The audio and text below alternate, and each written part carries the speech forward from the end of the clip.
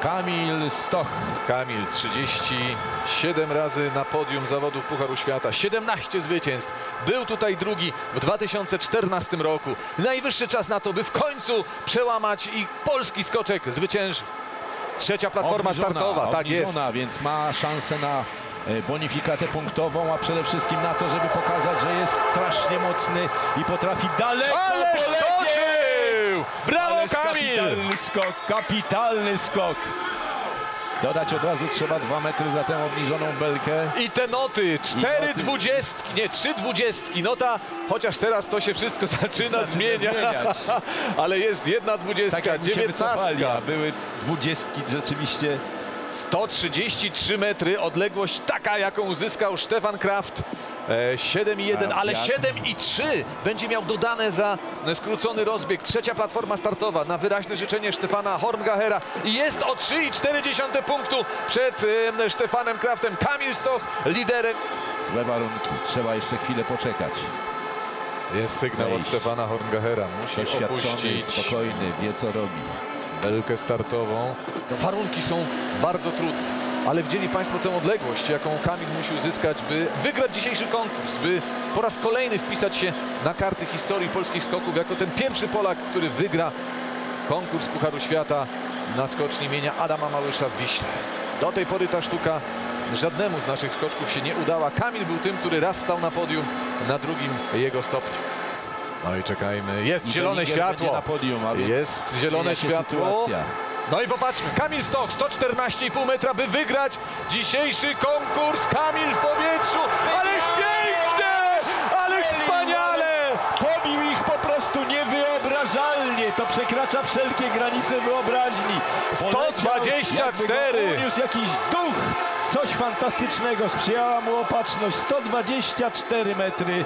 To On jest fantastyczny znokautował, rezultat. on ich znokautował, nie mając najmniejszej litości nad rywalami. Ta przewaga Kamila, myślę, będzie ogromna w dzisiejszym konkursie. Proszę zobaczyć to wyjście z progu, natychmiastowe ułożenie się w powietrzu i mimo tego wiatru wiejącego z tyłu skoczni będzie miał Kamil dodane 3,6 punktu za wiatr, 3,6 za skrócony rozbieg, ale to jest nieważne, bowiem jego klasa, umiejętności pozwalają mu w tej chwili wygrywać jak chce i kiedy chce. Brawo, brawo Kamil Stoch!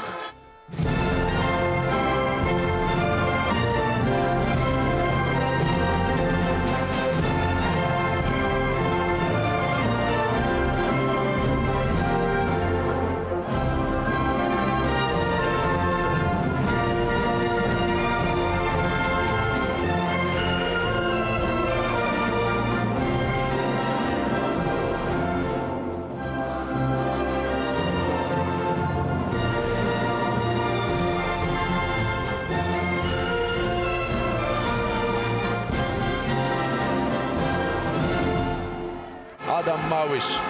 Tu dwa wielkie nazwiska się splatają. Dwie wielkie generacje i dwie wielkie postaci polskiego sportu. Nie ma sensu nigdy ich porównywać. To są inne czasy, inni ludzie, inne możliwości kariery, ale też jest jedno wielkie oczekiwanie, że będzie równie wielki Kamil Stoch jak Adam Małysz.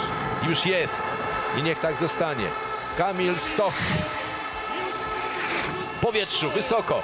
Czy osiągnie 130 metrów? Musi skoczyć za tę zieloną linię i jest, jest, jest pięknie. A więc znowu kapitalny skok Kamila Stocha. 135,5 metra. 135,5 metra. Fantastycznie. Jak Adam Mały w swojej najlepszej formie odlatuje. Ten orzeł z Wisły i teraz orzeł z zębu z Zakopanego robi to wszystko w podobny sposób. Harmonijnie, pięknie, stylowo.